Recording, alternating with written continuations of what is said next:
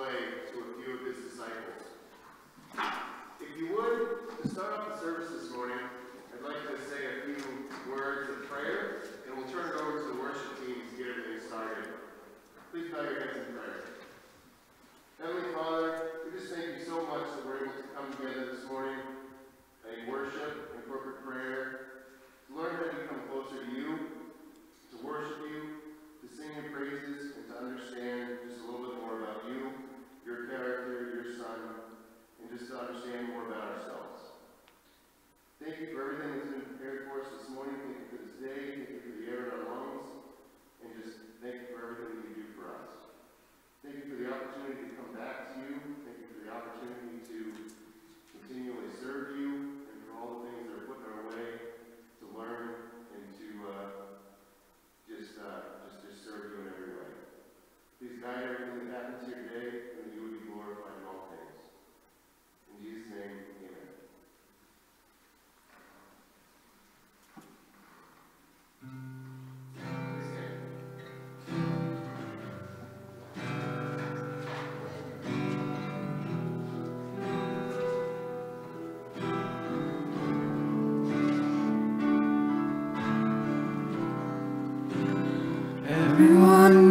Compassion, a love that's never failing.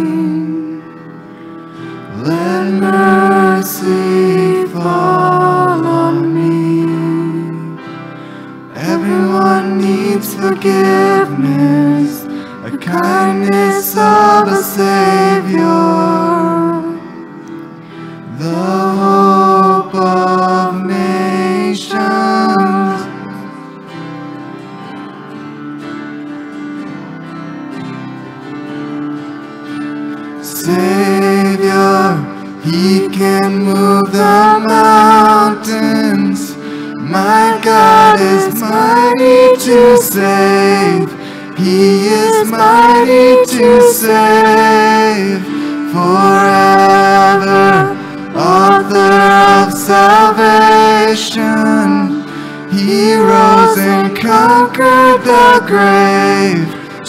Jesus conquered the grave.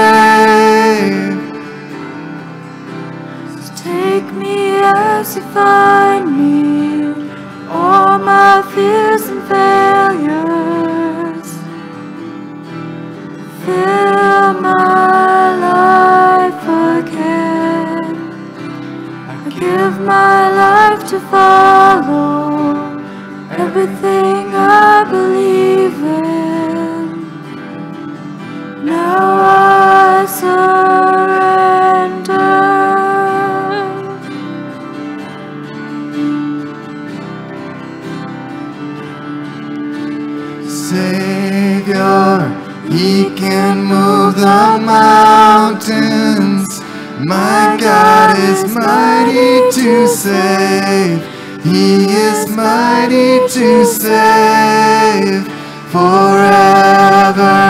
Author of salvation, He rose and conquered the grave.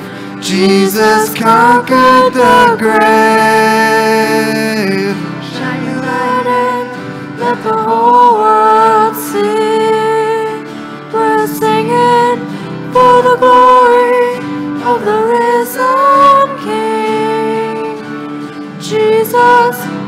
shine light and let the whole world see. We're singing for the glory of the risen King. Savior, He can move the mountains.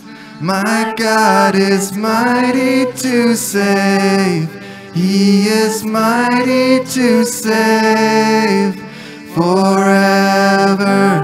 Author of salvation, He rose and conquered the grave. Jesus conquered the grave.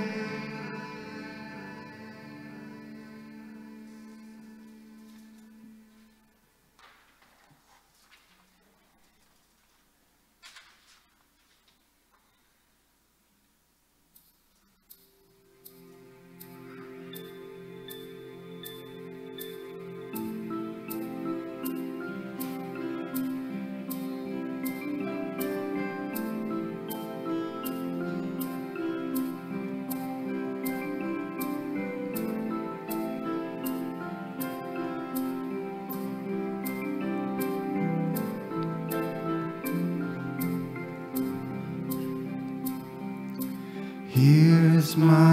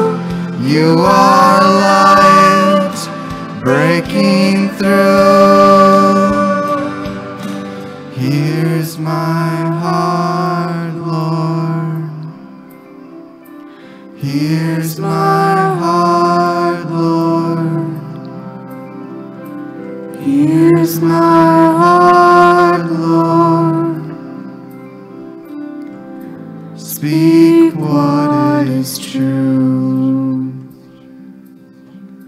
Speak what is true.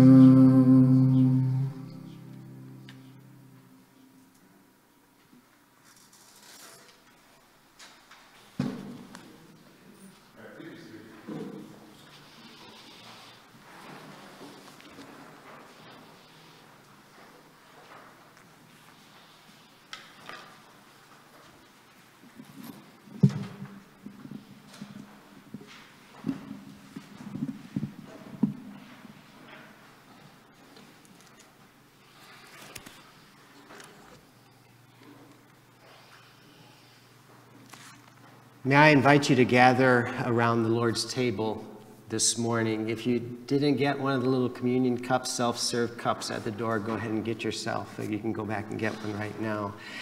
This morning, I'd like for us to give some thought to our dear sister, Ruby Clark, who about a month ago now had open heart surgery.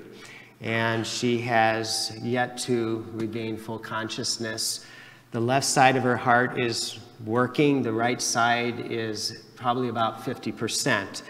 Uh, Monday, the doctors told Roger that there's pretty much everything that could be done has been done, and, and they didn't have a lot, and they were pretty pessimistic. And then apparently Friday, um, they celebrated their 55th wedding anniversary in the hospital, which is not what you want to do. Um, but uh, the doctors looking at the, I guess the echocardiogram or whatever, said that there'd been some improvement. And they were actually seeing some healing in the heart. So um, I would like to invite all of you uh, to set aside some time Monday or all day Monday uh, as a day of prayer for Ruby and for the Clark family. Uh, praying for her healing, praying for comfort for the family, praying for God's will to be done. the Clark family has walked with the Lord for many years, and they, uh, they're ready to accept His will. For the believer, it's a win win. Whether we continue here uh, with people we know and love and things that are familiar, or whether we go home to glory to be with Jesus, we can't lose. And so the Apostle Paul says that as he was uh, writing in Philippians, he wrote the epistle to the Philippian church in prison while he was waiting to hear from, uh, waiting to appear before Caesar uh, who was going to judge whether or not he had been preaching an illegal religion, whether Christianity was a legal religion in the Roman Empire.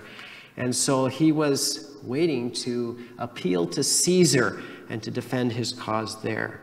And so I'll read, um, I'll read what he, he writes to the Philippian church. I eagerly expect and hope that I will in no way be ashamed, but I will have sufficient courage so that now as always Christ will be exalted in my body, whether in life or by death. For me to live is Christ, to die is gain. If I am to go on living in the body, this will mean fruitful labor for me. Yet what shall I choose? I, I do not know. I am torn between the two. I desire to depart and be with Christ, which is far better, but it is more necessary for you that I remain in the body. Convinced of this, I know that I will remain and, and will continue with all of you for your progress and joy in the faith, so that through my being with you, again with joy in Christ Jesus, will overflow on account of me. And so we believe that Paul was uh, released and did have opportunity to uh, go perhaps as far as Spain preaching the gospel, um, but uh, was again uh, imprisoned later and became a martyr for what he believed. So um, it's a win win. I'd invite you to participate with us as we uh, remember two things what Jesus did for us on Calvary when he died for our sins, and the fact that Jesus is coming again. And all who love his appearing will be united with him, with Jesus in glory.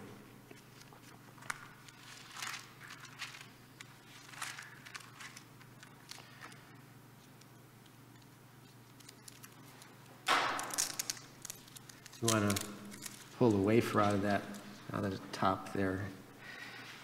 Figure how to do this. Let's pray together. Heavenly Father, we come into your presence.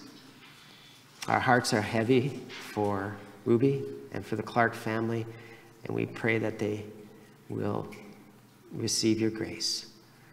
Uh, that you would, uh, our desire would be that Ruby comes home to Roger.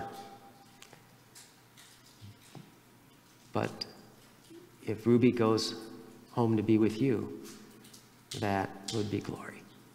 And so we pray that as they, as our church and as Roger and Ruby go through this trial, that you'd grant them grace and comfort and peace, that we may rest in your love. Father, we thank you that you came into this world, took on human flesh, and experienced life and death for us. That when you were nailed to the cross and when you rose from the dead, you destroyed the power of death. So that Paul could say, Oh, death, where is your sting? Oh, grave, where is your victory? And so we thank you for destroying the power of death, that we can look forward to resurrection and new life. Help us to live in the joy of walking with you every day this week. In Christ's name we pray. Amen. For I received from the Lord what I also passed on to you. The Lord Jesus, on the night he was betrayed, took bread. And when he had given thanks, he broke it and said, This is my body, which is for you. Do this in remembrance of me.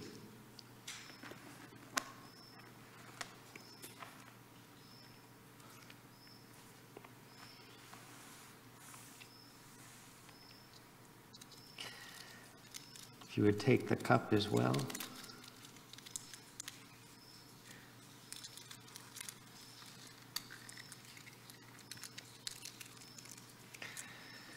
The same way, after supper, he took the cup, saying, This cup is the new covenant in my blood. Do this whenever you drink it in remembrance of me. For whenever you eat this bread and drink this cup, you proclaim the Lord's death until he comes.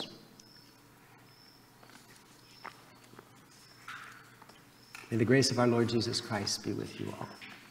I'm going to ask uh, Pastor Josh now if you'll come and read our scripture today, which is from Matthew chapter 17. Matthew 17.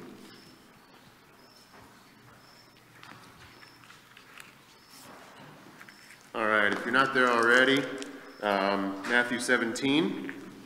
We'll be reading from verse 1 down to verse 13. As I said in the beginning, we'll be talking about the transfiguration of Jesus, where he showed his true glory to a few of his disciples. This true story happens just a few days after Jesus foretold um, his death and resurrection, and also when he told his disciples that they needed to take up their cross and follow him. After six days, Jesus took with him Peter and James and John his brother and led them up a high mountain by themselves. And he was transfigured before them, and his face shone like the sun, and his clothes became white as light. And behold, there appeared to them Moses and Elijah, talking with him. And Peter said to Jesus, Lord, it is good that we are here. If you wish, I will make three tents here, one for you, and one for Moses, and one for Elijah. He, will, he was still speaking when, behold, a bright cloud overshadowed them, and a voice from the cloud said, This is my beloved Son, with whom I am well pleased. Listen to him. When the disciples heard this, they fell on their faces and were terrified. But Jesus came and touched them, saying, Rise and have no fear. And when, when they lifted up their eyes, they saw no one but Jesus alone. And as they were coming down the mountain, Jesus commanded them, Tell no one the vision until the Son of Man is, is raised from the dead. And the disciples asked him, Then why do the scribes say that first Elijah must come? He answered, Elijah does come, and he will restore all things.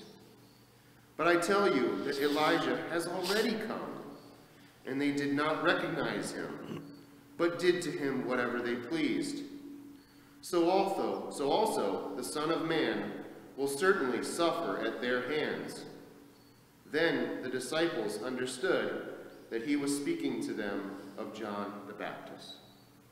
Thanks be to God for his word today. Amen.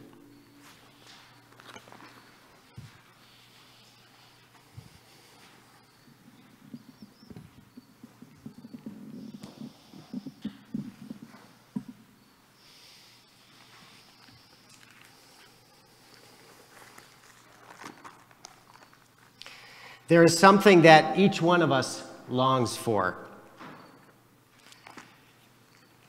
We don't see it clearly, but we catch a glimpse. We might hear it in a note of beautiful music performed at a live concert. We might hear it in the wind blowing through pine trees on a warm summer day. We taste a hint of it in a beautiful sunset or a quiet day in the woods sitting in your deer stand. We might smell a bit of it in a fragrant blossom growing in our garden, or roasting turkey on Thanksgiving Day spent with our family. We might get a hint of it in an athletic competition where the athlete who wins receives a token. The winning horse in the Kentucky Derby is draped with a blanket of roses across its back. An Olympic athlete receives a gold medallion. Perhaps we taste it in a bite of cold watermelon on a hot summer day, or the thrill of bringing that big fish flopping into the bottom of our boat. But glory is not really any of these things. Glory is something more. What is glory? We long for glory when we are sick, when we experience loss, when we fail at something, when we are lonely, or simply in the dullness of a melancholy, cloudy day. We long for glory. The fatigue of the pandemic has made us long for glory all the more. This world is not as it should be. Despair haunts our souls because, well, because God seems so far away at times, farther than he is. Solomon said in the book of Ecclesiastes, all is emptiness. He examined the pleasures of life, all of them, wealth, family, all the things, companionship, work, and he found it all to be empty. Moses asked to see the glory of God on Mount Sinai, and God revealed his glory to him. And when he came down, his face glowed, and so he, he needed to put on his veil to cover that reflected glory. The Shekinah glory led the Jews in the desert for 40 years, a pillar of cloud by day and a pillar of fire by night. In the year King Uzziah died, Isaiah saw the Lord. And the seraphim cried, Holy, holy, holy is the Lord. The whole earth is full of his glory, which is true. Many places we can see God's glory evidenced. But this world is broken. And because of that, we only see glimpses of the real thing, of the full picture. What is glory anyway? Is it just shiny? Is it sparkly? what is glory? In the scripture that Josh just read, we're told in a parallel account that, that their garments shone white as light, brighter than any launderer could clean them. In the book of Revelation, glory is described more with color, like a rainbow. What is glory anyway? I like A.H. McNeil's definition that glory is a spectacle of outward beauty as a visible sign of God's moral perfection. It is a spectacle. It is something beautiful. It is this quality of God that um, we can see. We're told God is love. If you could see love, what, what would it look like? We're told God is just. If you could see justice, would it not be beautiful? And so it is the visible character of God, a spectacle of outward beauty as a visible sign of God's moral perfection. And when we see God, we will see him as he is. Jesus took three of his disciples up a mountain a couple hours on an afternoon to get a break from serving others and showed them what they longed for and what was worth living for, and for them, what would be worth dying for. One day, all who long for the appearing of Jesus will be glorified. But for now, we wait. What do we learn from this passage? First of all, glory is closer than we think. When Jesus was transfigured, the word is, is uh, metamorphosis, when he was transformed, metamorphosized, what was really on the inside, who Jesus really was, came out and became visible to the disciples. They were so close, but they didn't know it. Imagine their surprise. They had walked with Jesus, they had they had eaten meals with Jesus. They had seen him teach. They had witnessed the miracles. And then they go up in the mountain and it is revealed to them his glory. They didn't know. They could not have completely understood that they were in the presence of Almighty God until they saw that revealed. All the while, the disciples were in the presence of glory, but they didn't fully realize it. That glory was closer than they thought, it wasn't far away. You see, there's a couple reasons why Jesus took these disciples up the mountain that day to spend some time alone with Peter, James, and John, just those three.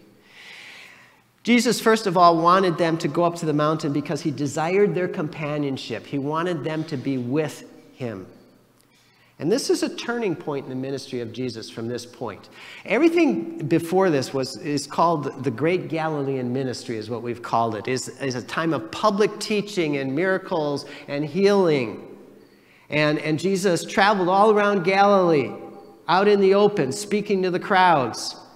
But this is a turning point now in the ministry of Jesus where he withdraws from the crowd and he focuses on two things. He focuses on spending time with his disciples, training them, teaching them. It's a special training of the 12, is what this period of time is called in the life of Jesus.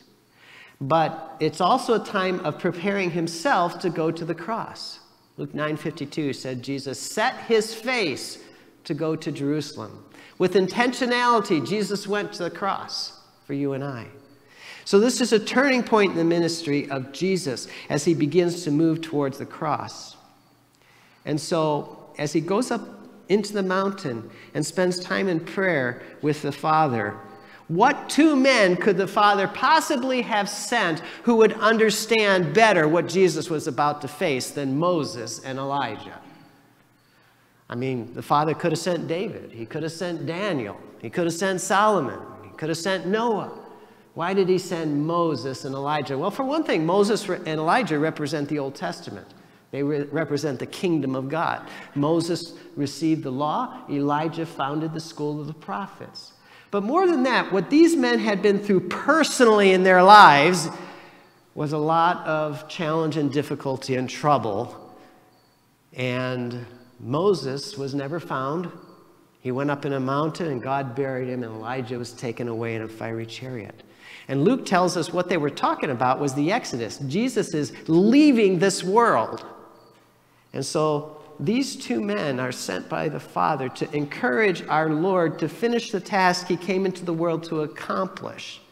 Who could do that better than Moses and Elijah, who served God in spite of the defiance of the people that they ministered and served. But Jesus also took these two men up to the mountain because they needed to see. They needed to be prepared. He took them up because they needed to see the big picture. The disciples needed to know that God's plan was right on course. And when they went to Jerusalem and when Jesus was arrested and crucified, they needed to know that God was still in control and God was still powerful in spite of the difficulties they would soon face in Jerusalem. Jesus wanted his friends to be in on this mystery that the Father was unfolding. He wanted them to understand what was soon to happen so that their faith would persevere, so that they would not be discouraged, so that they would not give up hope, but that their faith would continue. Glory lives in us through the Holy Spirit. The apostle says, Do not say, Who's going to go up to heaven to bring God down? Or who's going to go to, down to the depths to bring him up from the depths? The word is nigh thee. It is the word that we preach to you. That God is closer than we think. Glory is closer than we know for us as well. Because glory lives in us through the Holy Spirit. The Spirit of Christ is within us if we have faith in Him as the glory of God was veiled by human flesh in the person of Jesus, and one day will be revealed to all of us when he comes. So the glorious beauty of God is today veiled in our human flesh, but one day will be revealed when Christ returns. We see here that grace, the kindness of God, is glory stooping. The undeserved love and affection of God for us is glory stooping. Peter, he wanted to He wanted to have a party. He wanted to camp out and enjoy the glory of God. He wanted to build a tent for Elijah, a tent for Moses, and a tent for Jesus, a, a, a sacred place of worship. And he wanted to stay on that mountaintop. He wanted to hold on to the glory. He didn't want it to slip away. He wanted to savor the glory and keep it. But it's not now. We can't camp out and relax in glory just yet. All we get now is a glimpse. We want more, but we have to wait. Jesus had to wait. Philippians 2 6 says that our Lord Jesus did not consider equality with God a thing to be grasped, a thing to be hung on to, but he emptied himself, taking on the form of a servant and being obedient to death, even death on a cross. Jesus was willing to come into this world and allow his glory to be concealed, hidden, veiled in his humanity, to become our Savior. Jesus temporarily veiled his glory. And so, Peter, uh, his suggestion was pretty much ignored. He doesn't get an answer. but the father comes and says, Listen to my son. Behold, my beloved son in whom I am well pleased. Listen to him. And they were scared. Wouldn't you be scared if you heard the voice of God? If you heard the voice of God speaking to you saying, Be quiet and listen to my son, I think I'd be scared. They fell on their faces and worshiped and they covered their eyes. At the voice of the Father, they were terrified. Remember, Adam and Eve had hidden from God in the garden when he called their name. But you know what Jesus did? And It's interesting. Uh, this story is recorded in Matthew, Mark, and Luke, but Mark and Luke don't tell us one little detail that Jesus reached out and he touched them. I assume all three of them. He touched Peter, James, and John. And when they lifted their eyes, when they got over their fear, their terror, and they, they looked, only Jesus was there. Moses and Elijah was gone, and, and the glory had again been veiled. How many times in the gospel do we read about the touch of Jesus? Where Jesus touched a leper, where Jesus touched a blind man. And so that's glory stooping. Jesus touching, saying, Let's go back down, guys. It's okay. I want to remind you of something that's very important that we get from this story, though, as well. This true story, this that actual event that happened in the life of Christ, is that Moses and Elijah were also glorified. Did you get that? That Moses and Elijah, Jesus was glorified, his glory was revealed, but Moses and Elijah were also glorified. And I'll bet, you know, when I don't think the father asked for volunteers, you know, who wants to go down and talk to my son, I'm sure everybody in heaven would have said, Oh, oh, let me go.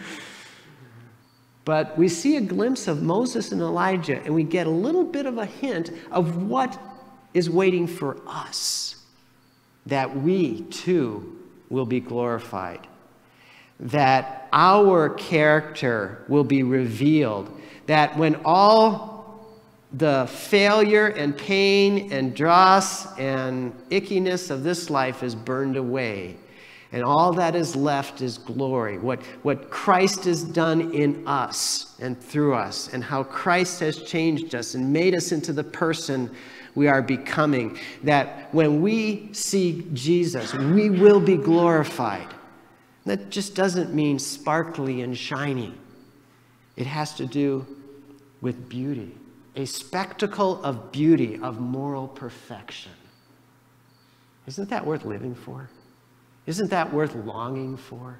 To be with Christ? This is a glimpse of what our resurrection will be. The dead are not dead, but they live. Glory always, thirdly, comes through sacrificial service. Moses, Elijah, Jesus sacrificially served God.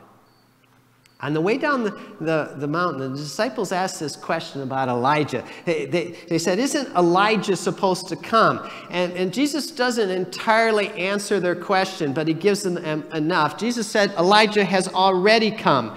The reason they were asking this question is because in Malachi chapter 4, 5, and 6, we are told that Elijah will come before the day of the Lord. Before Messiah comes, before the end of time, Elijah will come back. And so, having just saw Elijah, they thought, is the world about to end? Is this it? Is it all going to be over? And Jesus doesn't entirely answer all their curiosity. He just says Elijah has already come. And, and so there's a double fulfillment to this prophecy. And Elijah, they figure out, is John the Baptist. Well, John the Baptist came before Jesus and he prepared people for the coming of Christ. He pointed people to Jesus. And then, when his task in this world was done, he was executed. His head was cut off as a party favor for, uh, by Herod Antipas, for uh, son of Herod the Great, who slaughtered the innocents in Bethlehem. He was executed for his service to God. John the Baptist received a crown of glory through sacrificial service. But also, Peter, James, and John would witness with their blood, and this was to prepare them for glory to come. This event that Peter, James, and John saw strengthened their resolve for many years after the resurrection as they continued with difficulty to serve Christ and with opposition. Peter recalled this event. If you've got your Bibles open, uh, you can keep a finger in, in Matthew and turn to 2 Peter. 2 Peter chapter 1, verses 16 and 17, where many years later, Peter recalls this event. In verse 16, Peter says, We did not follow cleverly invented stories when we told you about the power and coming of our Lord Jesus Christ, but we were eyewitnesses of his majesty.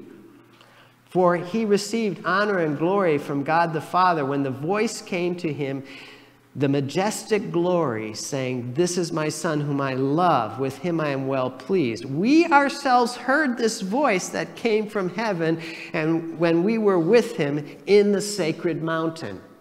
So many years later, Peter remembers this event, and it's something that every time he got discouraged, every time he faced opposition, every time he experienced failure and disappointment, he reminded himself, I'm not crazy. I was on that mountain. I saw Jesus with Elijah and Moses. It's real. This isn't a story. The gospel and the Bible isn't a story that we made up. We were eyewitnesses. We saw the glory of Jesus and we will see it again. That's what kept him going. That's what keeps us going. Is longing for glory.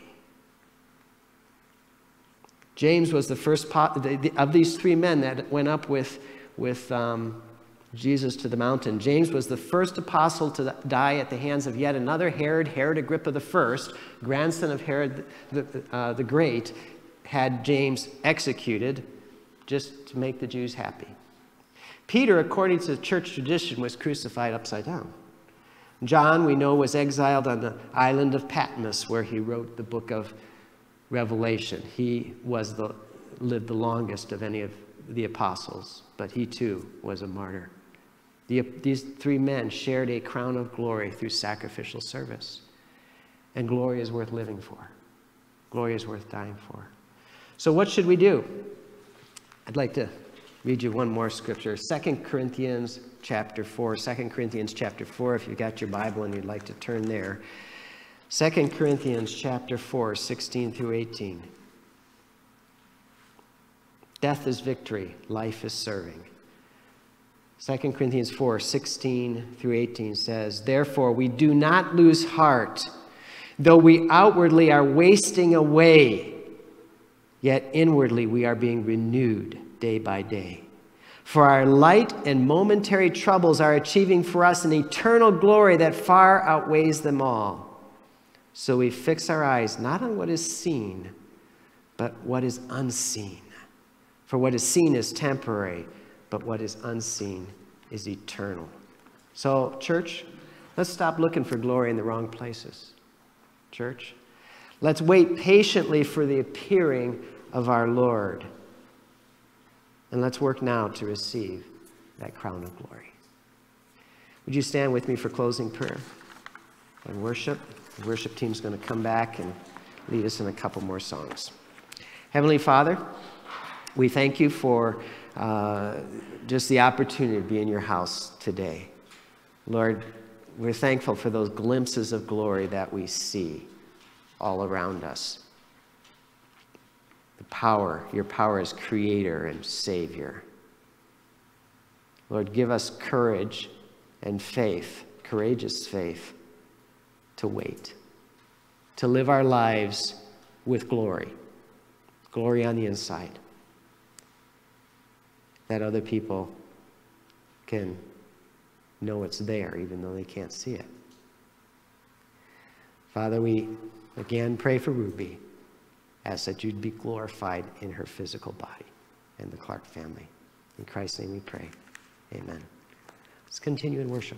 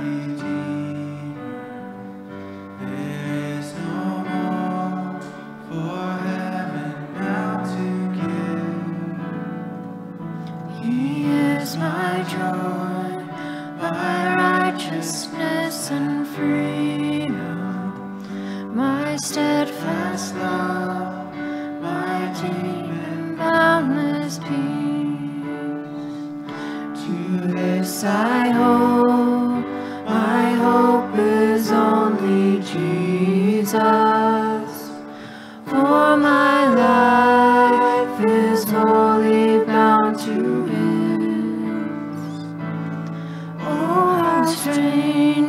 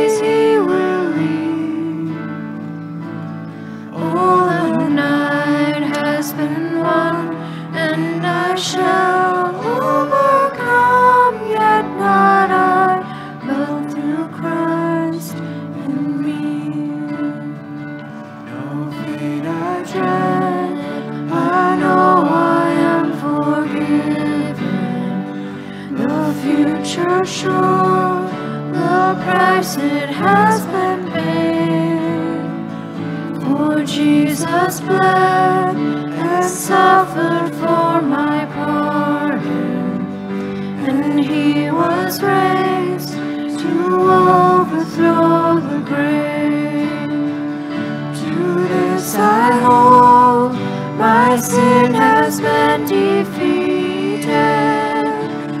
Jesus now and ever is my plea. All the chains are released.